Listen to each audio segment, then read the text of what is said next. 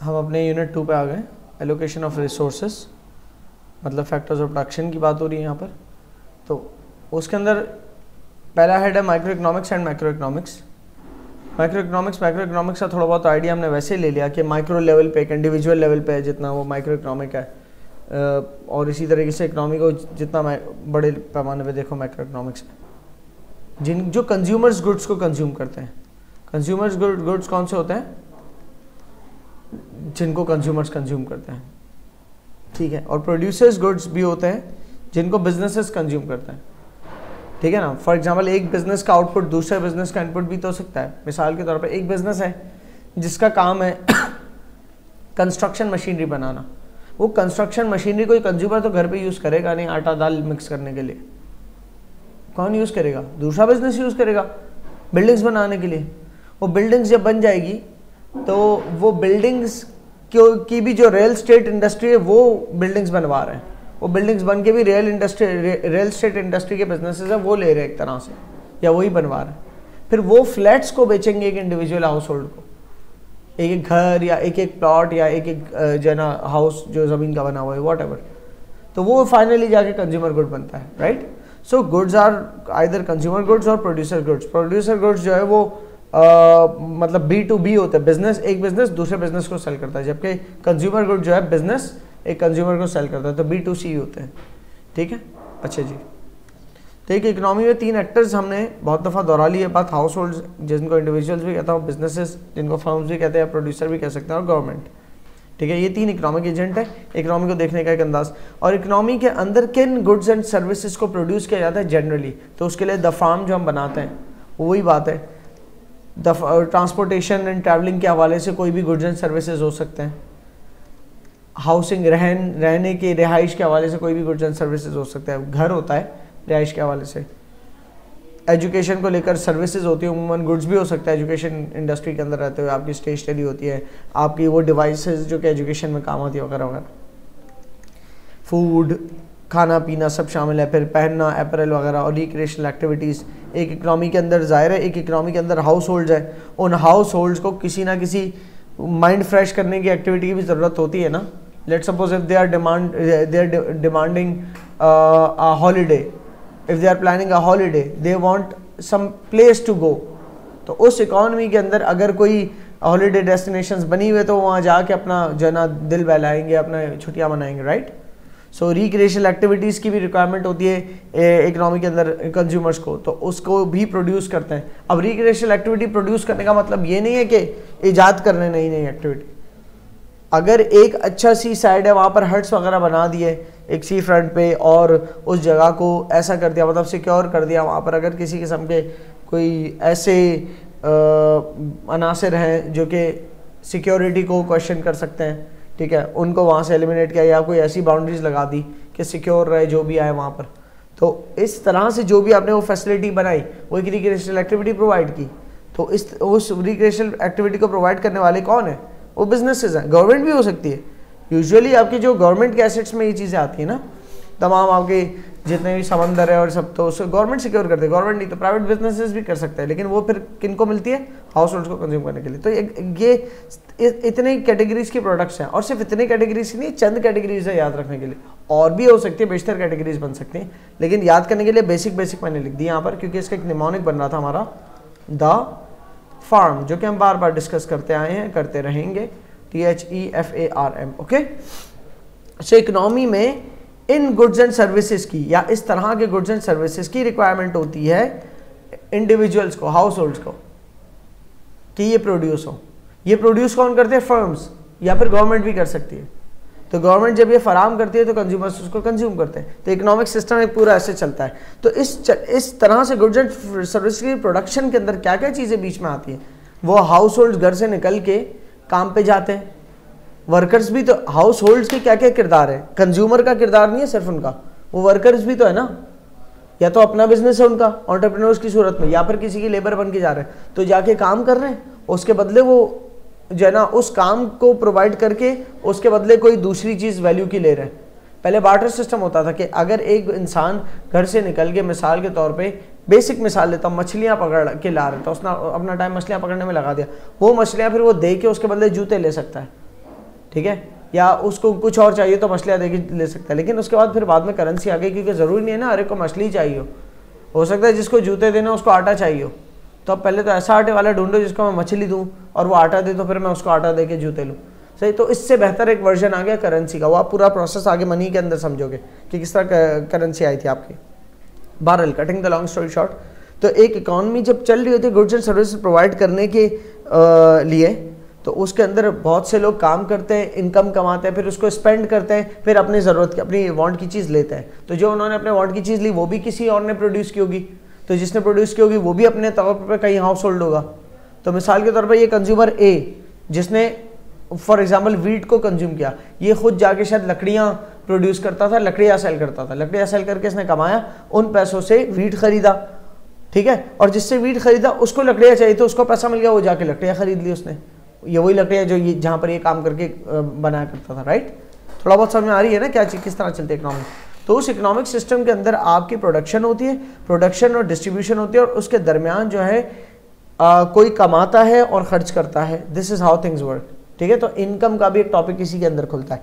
Economy एक पूरे तौर पे क्या करती है? प्रोड्यूस करती है और डिस्ट्रीब्यूट करती है।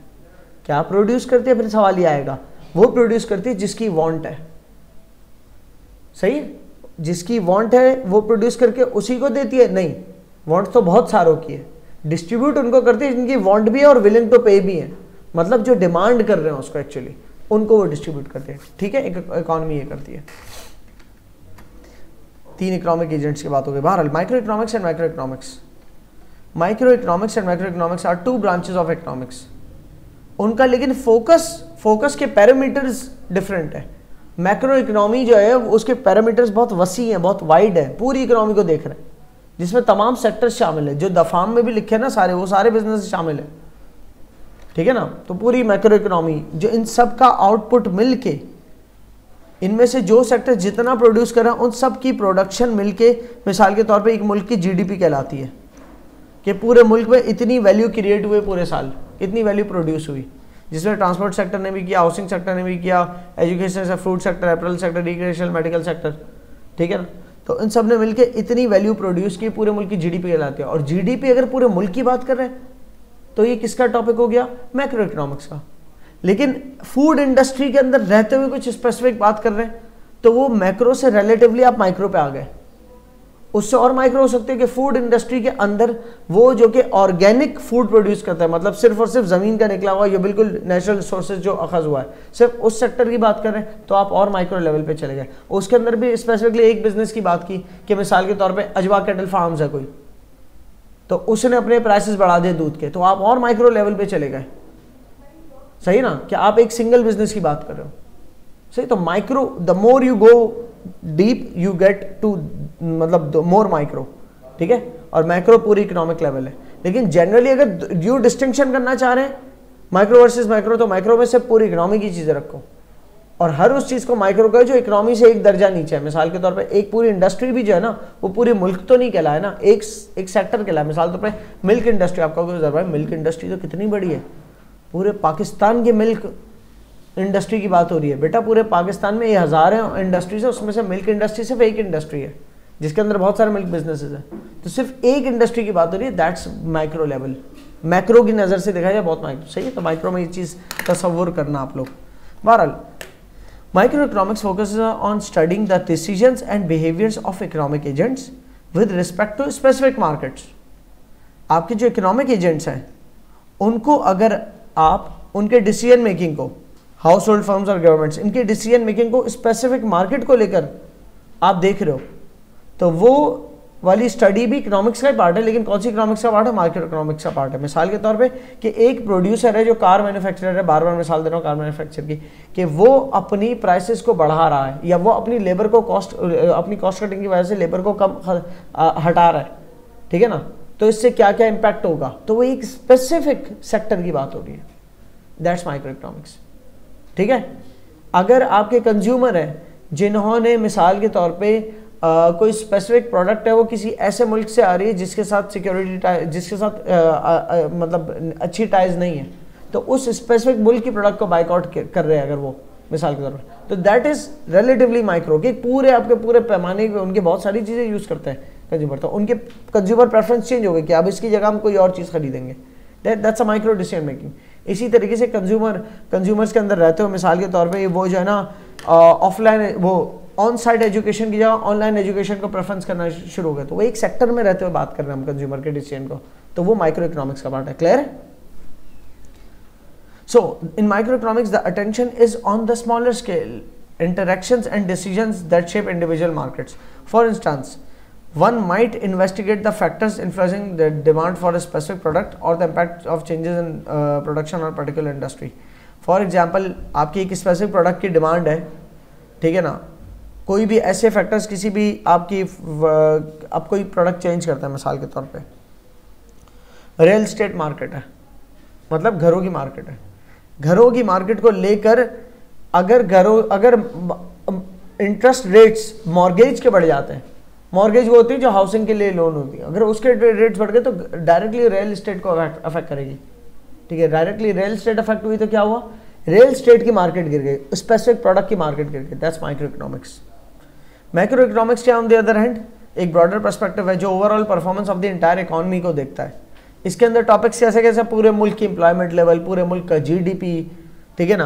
आपके मुल्क का इंटरेस्ट रेट क्या चल रहा है? इंटरेस्ट रेट्स वो होते हैं जो गवर्नमेंट सेट करते हैं सेंट्रल बैंक सेट करता है कि सेंट्रल बैंक जो इंटरेस्ट रेट सेट करता है ना तो उसी इंटरेस्ट रेट के बलबूते पे पूरे मुल्क का इंटरेस्ट रेट सेट होता है कि कोई भी कुछ बोरो करेगा तो उसको कितना इंटरेस्ट रेट देना पड़ेगा? जैसे फिल वक्त। कराची के अंदर काइबोर्ड जो चल रहा है, वो ट्वेंटी परसेंट प्लस चल रहा है। ट्वेंटी परसेंट का मतलब ये हो गया कि उससे ऊपर ही बैंक से किसी को अब उधार मिलेगा। तो इंडिविजुअल कंज्यूमर को जब इतना महँगा उधार मिल रहा है कि उसको मिसाल तौर पर अगर एक करोड़ रुपए उधार लेता है तो पूरे साल के एंड में उसको 20 लाख रुपए सिर्फ़ सूद के देने पड़ेंगे उस पर इंटरेस्ट देना पड़ेगा। इट्स सो बिग कि वो डिसीज़न चेंज करता नहीं यार, मैं अभी उधार नहीं ले सकता। It's gonna be very expensive समझ आ रही है? तो उसने जब नहीं लिया उधार तो उसको उस उधार के पैसे से जो करना था, वो वो नहीं खरीद रहा। फॉर एग्ज़ाम्पल गाड़ी खरीदनी थी, वो गाड़ी नहीं ले रहा। तो परचेजिंग रेशियो में फ़र्क आ गया। सो माइक्रो इकोनॉमिक कंडीशन से माइक्रो पे भी फ़र्क आता है, और माइक्रो इकोनॉमिक कंडीशन से माइक्रो भी फ़र्क आता है, दोनों एक दूसरे को इम्पैक्ट करती है। ठीक है? उसी के इंटरेक्शन की बहुत सारी मिसालें नीचे दी हुई हैं। ये आप पढ़ लोगे सब। जैसे कि the demand for a individual product in micro economics corresponds to the total demand of all goods and services in micro economics अगर हर इंडिविजुअल प्रोडक्ट की डिमांड बढ़ती जा रही है तो पूरे मुल्क के अंदर ओवरऑल डिमांड बढ़ गई ओवरऑल प्रोडक्शन बढ़ गई ओवरऑल जीडीपी बढ़ गई। अगर एक एक सेक्टर के अंदर डिमांड कुछ ना कुछ कम हो रही है, या चलो हर सेक्टर में नहीं हो रही, किसी एक सेक्टर में कुछ डिमांड कम हो गई तो वो एक सेक्टर में डिमांड कम होने का मतलब है उसका जो इम्पैक्ट है वो पूरे मुल्क की डिमांड पे आएगा ही ना, क्योंकि तमाम सेक्टर्स की टोटल डिमांड बन के, का टोटल ही तो पूरे मुल्क की डिमांड होती है। तो किसी भी एक सेक्टर से डिमांड कम होने का मतलब माइक्रो इकोनॉमिक डिमांड कम होने का मतलब पूरे मुल्क की माइक्रो इकोनॉमिक के अंदर जीडीपी के ऊपर फ़र्क आ सकता है। ठीक है? इसी तरीके से आपको यह समझना है कि किसी इंडिविजुअल प्रोडक्ट के प्राइसेस क्यों बढ़ रहे हैं? पेट्रोल के प्राइसेस क्यों बढ़ रहे हैं? या चलो पेट्रोल के प्राइसेस नहीं, आपके घर तक कोई सब्ज़ी फ्रूट आ रहा था, उसके प्राइसेस क्यों बढ़ रहे हैं? आप ये समझना चाहता हो। सिर्फ़ सब्ज़ी फ्रूट के प्राइस बढ़ना तो एक माइक्रो इकोनॉमिक एनालिसिस है कि सब्ज़ी फ्रूट के ही प्राइस क्यों बढ़े फ़ूड के प्राइस बढ़ा खाली। तो ये माइक्रो इकोनॉमिक एनालिसिस है। लेकिन इस एनालिसिस का ताल्लुक माइक्रो कंडीशन से भी तो है। क्या पहले देखोगे ना क्या ऐसे फ़ूड के प्राइस बढ़े या ओवरऑल इकोनॉमी के बढ़ रहे पता चला ओवरऑल इकोनॉमी के बढ़ रहे क्योंकि पेट्रोल एक ऐसी रिसोर्स है जो पूरी इकोनॉमी में यूज़ होती है। पेट्रोल इतना महँगा हो गया कि ट्रांसपोर्टेशन बहुत महँगे हो गए की वजह से पूरे मुल्क में इन्फ्लेशन आ गई जिसकी वजह से आपका फ़ूड भी आपको महँगा पड़ रहा है। क्लियर हुई? सो so, आपको माइक्रो इकोनॉमिक कंडीशन को समझने के लिए भी कभी कभी माइक्रो इकोनॉमिक कंडीशन को समझना पड़ता है। क्लियर तो इंटरेक्शन है दोनों का आपस में। फिर reduction in output in the car industry अगर कार इंडस्ट्री कि आउटपुट में, कि मैन्युफैक्चरिंग के अंदर रिडक्शन हो गई, उसको समझ रहे हैं। अब ये माइक्रो लेवल की बात हो गई कि यार ऑटोमोबाइल इंडस्ट्री है, उसके अंदर अगर मैन्युफैक्चर कम हो रहा है कम गाड़ियाँ मैन्युफैक्चर हो रही है तो उसकी क्या वजह? पता चला कि वजह यह है कि माइक्रो इकोनॉमिक कंडीशंस ऐसी हुई है कि डॉलर बहुत एक्सपेंसिव हो गया आपके लिए। और डॉलर एक्सपेंसिव होने का मतलब है, जो इंपोर्ट किए जाते थे पार्ट्स सारे, अब वो पार्ट्स बहुत एक्सपेंसिव होना शुरू हो गए। तो car manufacturing company can not handle their cost that way ठीक है? तो वो बना ही नहीं रही ज़्यादा। अब वो जब नहीं बना रही ज़्यादा तो फिर लोगों को भी निकालेंगी। तो एक ऑटोमोबाइल इंडस्ट्री से लोगों का अनएम्प्लॉय होना तो एक माइक्रो इकोनॉमिक कंडीशन है। लेकिन लोगों का अनएम्प्लॉय होने से पूरे मुल्क के अनएम्प्लॉयमेंट लेवल के ऊपर एड तो होगा ना। तो मैक्रो इकोनॉमिक इम्पैक्ट भी है उसका। क्लियर हो रही है? फिर एक मिसाल और है बड़ी, अच्छी दो मिसालें। मुल्क के अंदर इनकम टैक्स अगर बढ़ जाता है तो लोगों की डिस्पोजेबल इनकम घट जाती है। डिस्पोजेबल इनकम वो होती है आफ्टर टैक्स इनकम तो एक इंसान है, जिसकी आफ्टर टैक्स इनकम मतलब पूरे साल की उसकी जो है ना फिफ्टी थाउज़ेंड डॉलर्स इनकम थी। और पहले टैक्स जो था स्ट्रेट फॉरवर्ड वाला, पहले उसको इस पर टैक्स दस परसेंट देना पड़ता था, पाँच हज़ार डॉलर तक। तो उसकी disposable income forty five thousand dollars रह जाती थी। ठीक है? और उसी के बेसिस पे वो बाइंग डिसीज़न कर सकता है। डिस्पोजेबल इनकम वो इनकम जिससे जो टैक्स कटने के बाद हो। एक इंसान है, अब ये टैक्स बढ़ जाता है। बढ़, अब ये पैंतालीस हज़ार डॉलर्स के अंदर से इसके समझ लो, तीस हज़ार डॉलर तो खाने पीने में खर्च हो जाते हैं। और फिर दस एक हज़ार डॉलर और बाकी चीज़ों में खर्च हो जाता है। पाँच हज़ार डॉलर जो एक्स्ट्रा बचते हैं, उससे वो गाड़ी ख़रीदने का कोई डिसीज़न लेता है। अब मिसाल के तौर पे अगर टैक्स रेट बढ़ जाते बीस परसेंट हो जाते दस से। तो दस हज़ार डॉलर हो जाता टैक्स टोटल डिस्पोजेबल इनकम कम हो जाती। तो उससे क्या होता? तीस एक हज़ार तो उसके खाने पीने वगैरह में चले गए और दस एक हज़ार उसके और चीज़ों में चले गए खर्चे। तो गाड़ी के लिए पैसे नहीं बचे। तो गाड़ी खरीदने का डिसीज़न ख़त्म हो गया उसका। Because increase in income tax at macro level resulted in lesser income of an individual and that individual is not buying the car right now ठीक है? तो माइक्रो इकोनॉमिक इम्पैक्ट होते हैं। फिर एक और हायर इंटरेस्ट रेट्स हैं अगर। सेंट्रल बैंक ने इंटरेस्ट रेट्स को ज़्यादा कर दिया तो ज़्यादा इंटरेस्ट रेट्स का मतलब बोरोइंग कॉस्ट बढ़ गई। लोग बोरो करेंगे तो उनको बहुत एक्सपेंसिव पड़ रहा है बोरो करना। जो बोरो करना एक्सपेंसिव कर रहा पड़ रहा है तो बोरो करके जो खरीदने वाले थे वो नहीं खरीद रहे क्योंकि बोरो ही नहीं कर रहे। सही? जी। तो ये माइक्रो माइक्रो का आपस में एक इंटरेक्शन दिखाया है। रिपल इफ़ेक्ट का यहाँ पर जुमले में लिखा हुआ है। कि they can have ripple effect ripple effect इसे कहते हैं एक्चुअली पानी के अंदर रिपल्स क्रिएट होता है। अगर आप एक पत्थर डालो, पत्थर फेंको पानी में तो उसके करीब तरीन का पानी बड़ी वेव देगा। उसके थोड़ा दूर वाला और छोटी वेव थोड़ा दूर वाला और ये रिपल इफ़ेक्ट होता है। नहीं गोल गोल वेव्स बन रही होती है। तो पत्थर जहाँ पड़ा है, सिर्फ़ वहाँ पर इफ़ेक्ट नहीं आएगा। उसके इमीडिएट तो बड़ा इम्पैक्ट आएगा, लेकिन होते होते हर इम्पैक्ट का एक अपना इम्पैक्ट भी होगा। तो होते होते थोड़ा लार्जर स्केल पे इंपैक्ट जाता है, इसे कहते हैं रिपल इफ़ेक्ट ठीक है, एक टर्म और है trickle down effect trickle down effect वो होता है कि अगर आपकी बाल्टियों की पूरी एक वो बनी हुई है पिरामिड ठीक है ना, या कप्स का पिरामिड या ग्लासेस का पिरामिड पहला वाला पोर करोगे, वो ओवरफिल हो जाएगा तो अगलों को फ्लो करेगा. फिर वो सही, जैसे एक फाउंटेन वर्क करती है. सो रिपल इफ़ेक्ट भी यही होता है कि एक के ऊपर इम्पैक्ट आने से अगलों तक इम्पैक्ट पहुँचना. तो माइक्रो इकोनॉमिक्स का माइक्रो इकोनॉमिक्स पे या माइक्रो इकोनॉमिक्स का माइक्रो इकोनॉमिक्स पे रिपल इफ़ेक्ट है या ट्रिकल डाउन इफ़ेक्ट है। Decision makers in micro economics and micro economics अभी आप पढ़ेंगे तो हो जाएगा बिकॉज़ मैंने बेसिक्स बहुत बता दिए। डिसीज़न मेकर्स कौन कौन हो सकते हैं? वही तीन एजेंसी है हाउस होल्ड फर्म्स और गवर्नमेंट ये तीन है जो कि डिसीज़न मेकर है। उनके माइक्रो इकोनॉमिक डिसीज़न मेकिंग और माइक्रो इकोनॉमिक डिसीज़न मेकिंग किस किस तरह के हो सकते हैं? हाउस होल्ड्स की बात करते हैं। तो हाउस होल्ड कंज्यूमर के तौर पर भी एक किरदार है हाउस होल्ड का। कि घर के अंदर बैठा हुआ तो कंज्यूमर है। मतलब घर के अंदर बैठा हुआ कंज्यूमर नहीं है, सिर्फ़ बाहर भी कंज्यूमर मतलब अपनी पर्सनल लाइफ में कंज्यूमर है वो। लेकिन ज़रूरी नहीं है कि वो सिर्फ़ कंज्यूम ही कर रहा हो कुछ सेव भी तो कर रहा होगा, ऐसा हो सकता है। सब खर्च थोड़ी कर रहा होगा। तो वर्कर भी है वो वर्कर करके कुछ कमाता है, उस कमा कमा, कमाए हुए में से कुछ सेव करता है और कुछ कंज्यूम करता है। ठीक है? ज़रूरी नहीं है कि सभी कंज्यूम कर ले और ज़रूरी नहीं है कुछ सेव भी करे, हो सकता है सभी कंज्यूम कर जाए एक एक रुपया। हो सकता है कुछ भी कंज्यूम ना करे, बस बेसिक नीड्स पूरी हो रही है, बाकी सारा सेव कर दे। डिपेंड करता है उसको इंसेंटिव कहाँ मिल रहा है। अगर उसको लगता है इंटरेस्ट रेट्स हाई है तो सेव करने में उसको ज़्यादा रिटर्न मिल रहा है। जिस इकोनॉमी में इंटरेस्ट रेट हाई सेट हुए हुए हैं, वहाँ बोरोइंग कॉस्ट एक तरफ़ महँगी है तो दूसरी तरफ़ सेव करने में रिटर्न ज़्यादा है। कि अगर वो सेव करता है और वो अगर इंटरेस्ट खाने वालों में से है तो वो बैंक में पैसा जमा कराएगा और इंटरेस्ट खाता रहेगा। उसको लगेगा पैसा ज़्यादा है मेरे पास। अच्छा बहरहाल कंज्यूमर्स के तौर पर हाउस होल्ड का क्या एक माइक्रो इकोनॉमिक डिसीज़न हो सकता है? उनको लो प्राइस पे चीज़ें चाहिए होती है। हाई क्वालिटी की चीज़ें चाहिए होती है। ठीक है ना? कम से कम प्राइस पे बेहतर से बेहतर product that's what consumer want अगर हाउस होल्ड को सेवर्स के तौर पे देखो तो वो चाहते हैं कि उनका जो पैसा सिक्योर जगह पर सेव हो रहा हो और उस पर अच्छे से अच्छा रिटर्न मिल रहा हो। सिक्योर जगह पर लग रहा हो मतलब कि डूब ना जाए पैसा और रिटर्न अच्छे से अच्छा मिल रहा है सेवर्स उनको ये चाहिए होता है। सेविंग्स प्लान और अगर एज वर्कर देखे तो उनको अच्छी वर्किंग कंडीशन में ज़्यादा पे चाहिए होती है। कि अच्छे वर्किंग कंडीशन हो ज़्यादा ज़्यादा पे मिले। वही हाउस होल्ड ठीक है ना? तो वो किसी का एम्प्लॉय भी बन सकता है और खुद ऑन्टरप्रनोर भी तो एक वर्कर ही है ना? ऑन्टरप्रनोर भी बन सकता है। क्लियर तो सारे हाउस होल्ड के माइक्रो इकोनॉमिक किरदार हैं। माइक्रो इकोनॉमिक लेवल पे इनकी बात किस तरह इनके इनको लेकर क्या डिसीज़न मेकिंग है? वो वो परसू करते हैं कि अफोर्डेबल जनरली कहीं भी जाए अफोर्डेबल प्राइसेस हो। ये भी अगर जनरली देखा जाए तो माइक्रो इकोनॉमिक लेवल का लग रहा है। बहुत ज़्यादा फ़र्क मैंने करने की कोशिश की, इतना ज़्यादा मतलब फ़र्क बन नहीं पा रहा था, लेकिन फिर भी आप लोगों को ये समझाने के लिए कि माइक्रो इकोनॉमिक्स और माइक्रो इकोनॉमिक डिसीज़न किस तरह से फ़र्क करेगा हाउस होल्ड के लिए, ठीक है ना? तो वो चाहेगा कि एक सिक्योर लिविंग मिले लिविंग स्टैंडर्ड अच्छा हो उसका फेवरेबल जहाँ जाए वर्किंग कंडीशन हो तो वही सारी बात जो यहाँ पर लिखी है, वो जनरलाइज कर दो और। आम तौर पर ही हम ऐसे मुल्क में रह रहे हो कि जहाँ पर सब अच्छा अच्छा हो रहा हो, वो ये चाहेगा। ठीक है? स्पेसिफिक टू द सेक्टर अगर चाह रहा है वो ये चीज़ें तो micro economic specific to the sector ना हो, बल्कि पूरे मुल्क वाइड ये चीज़ सोच रहा चाह रहा है तो माइक्रो इकोनॉमिक फर्म्स को देख लो तो फर्म्स अपनी मार्केट में रहते हुए प्रॉफिट मैक्सिमाइज करना चाहती है, जो बिज़नेस वो कर रही हैं।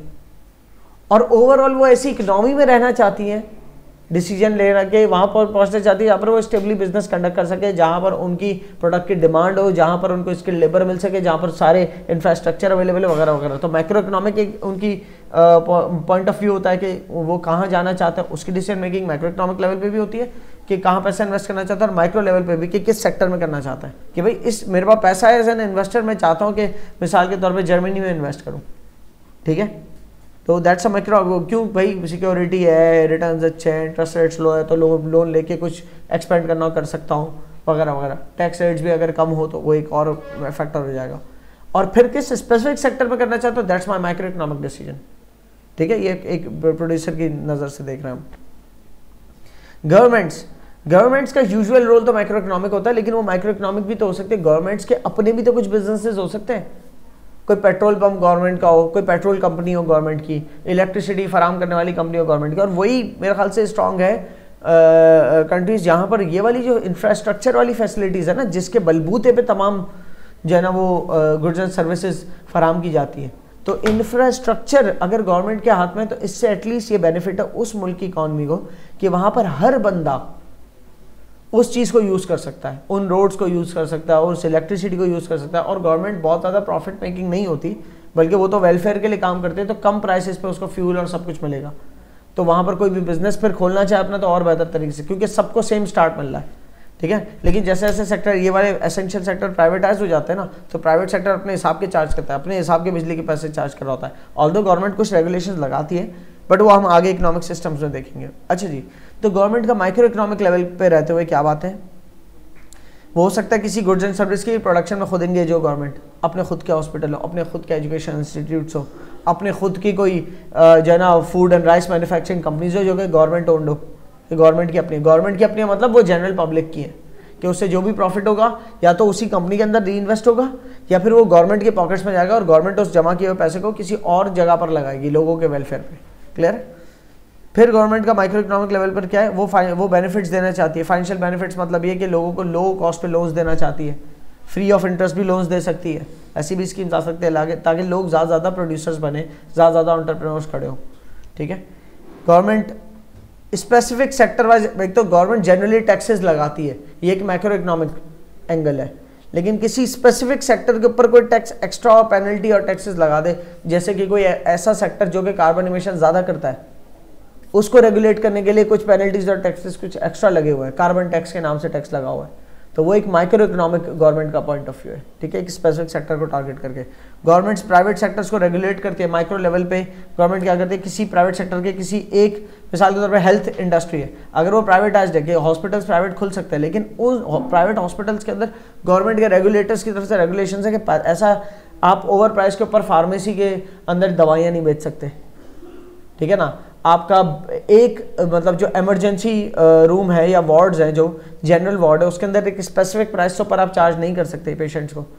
सही तो गवर्नमेंट रेगुलेशन लगा सकती है, ठीक है प्राइवेट सेक्टर के ऊपर।